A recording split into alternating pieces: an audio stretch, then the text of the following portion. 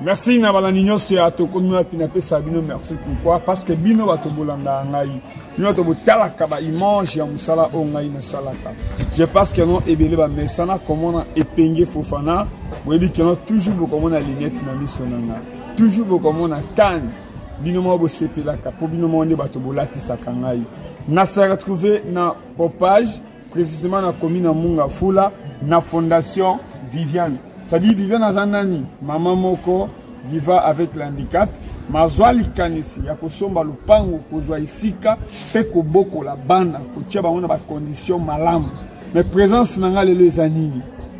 bomonaki biso na bilanga fondation viviane epesi acer lokola mambo etali bilanga bapesi ye 10 hectare mpo na keno aser asala bilanga baleisa bato bapesa mpe initiative ya bato baaprendre kosala bilanga soki ozwi banda maluku banda mbakana ti kokende kasai espace de vie de modèle eza ondima te cestadire parti nyonso esfrere na discours ya kosala bilanga yango bomoni mwana mboka eliezer basangani na fondation viviane tozalaki na zamba bomonaki lolenge mama aza te topesi ye merci nzambe abatela ye aparti ya italie place aza parce que mama viviane asangisa italie na kinshasa soki ake italie akomi kokanisa koma bano bakozwa biscuit koma bano bakozwa eloko ya kolia soki akomi na kinshasa akomi koservir bango biloko auti nango na italie ma travers ya bavideo na ngai boyebi ke naya awa mpona kodefendre bango na contenere ya biloko ndenge boza komona italie akoti na supermarché asombi biloko mpo na bana oyo oyo meme leta congolais oyo esengeli azwa responsabilité na bango akipaka bango te mais bugumesa ya commune ya munga fula ayebi kaka koya kodepose bana awa mpo bana nyonso bazwaka awa bazwaka bango sur document meteo kutu eziki ata moto aye kovisite bango te na baautorité balelei kaka kopakola sho baleki mbula ebeti sho elongwe honorable eliezer à travers baimage na biso à travers baappel ya bato ya meteo honorable eliezer akitaki nde bozomona bilili atiki quelque chose symbole kaka toujours pesa moninga sourire yango ngai atake descendant na ye atake travailleur atake représentant na ye gardien du temple nakiti na mbudi nalobelaki mambo etali contener contener na bango emonani mais on entra eyibi eza soni ya komona entreprise ya leta ezosala bato mabe kaka na mboka congo nde tozamona moto aza conseiller ya chef de leta ndenge toza koyoka nga mona kiti na kingabwa me mwana mboko babengi na patrik leta conseiller ya président de la république conseiller yango nayebi ye na matière te nayebi domaine batya ye conseiller te oyo azofaire kobimisa bana ya major oyo moto aza na jugu mpo na kodefendre république mais lelo bozobenga bato bakɔta na policier bato bakɔta na armée bato badefendre mboka na ndenge nini na moto aza major azo défendre république quelqu'un comme un conseiller ya président de la république mpo ngai natikali komona ye te depuis na bandi kolekisa mpe image droit de réponse ezoya te lelo fondation yango oyo est ce que gouverneur de la ville aye awa est ce que baministre baye awa meme ministre ya affaire sociale ayebi eloko te ayebi koya awa te awa un courant eza te cestadi bano baza na droit ya courant te mais indien libanais aza na droit ya courant yango nayesololi ke non eza na ndeko moko ya mwasi oyo azalaki touche oyo abengami na nkombo ya lidia chomba oyo lelo alobi ke naza mwana mwasi nabongisaka manzaka na nga nabongisaka suki na nga me alobi nakokende salon te nakende kovivre na baorphelin nakende kopase journée na baorphelin yango bokomona nini mwana mboka lidia amemeli bana mpe aye kokutana na moko oyo aza yaya na bango aza koselebe anniversaire na bango lelo bokomona ndenge seremoni eleki kaka awa tala nde mwana mboka lidia atali kitoko na ye te atali pembe na ye te me abanzi kolia na baorfele oyo tu tozosala na mboka oyo tokotika yango awa bakundaka motu na or te bakundaka motu na lupangu te okotika lupango na makampagne okotika lupango na, na, na, na montfleri okotika lupango na gombe bakenda o na nsele bakenda o na maluku bakenda o na kimba nseke pour vous dire que oyo oh, tout bozosala bosalaka malamu mpo na peuple bokanisaka malamu mpo na peuple eloba honorable tingi pululu tokanisaka malamu mpo na peuple congolais tosalaka bolamu mpo na peuple congolais nde bomoni mariage ya mwana mboka eliezer na fondation viviane fondation oyo ya polo te fondation ya banderole te fondation oyo mpenza obengi nga lokola mwana mboka lidia abengi nga mama na biso lidia comba tomemi ye na kati ya lupango mpe ye moko aye kokutana mpenda anniversaire esali esengo esali sentiment tokanisaka boye olia okendaka na barestaurant kokendaka na babisika bisika na baplage plage ya malamu nde yango oyo place ya kolona nde yango oyo ata yo ministre ata yo directeur ya cabinet ya chef de l'etat soki ata oke boloko ke oleisi baofele soki basali yo meme ata igf ekoti balobi ke non tosalaki boye eza malamu lelo mwana mboka lidia aye kolia na baofele mamemeli bango nini yango nde surprise mama zala place oza na italie Maman Viviane, Ipenge Fofana, aza toujours mpona kodefendre fondation aza na sentiment aza na courage mpo ata na ye na mundele awa ata na ye na mopaya awa ndenge toye na lydia aza na sentiment parce que amoni fondation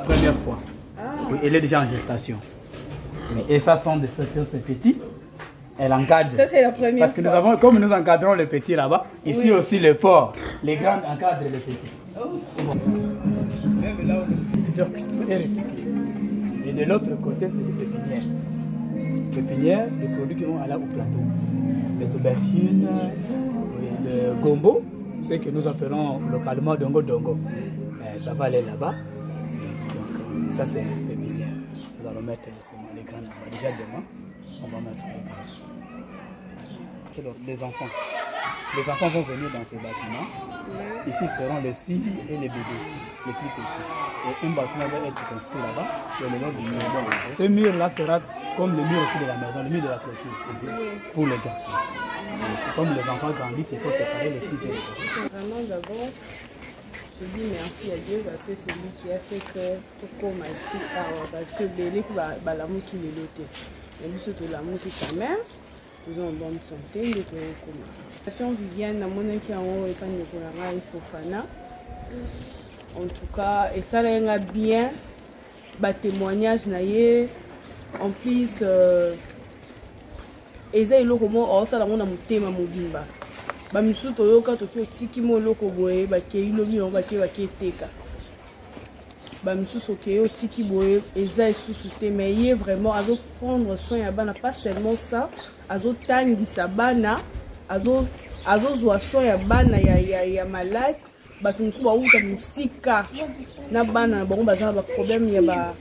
ya malformation bazoya bazotraite bango ya ofele eza teke ya mbongo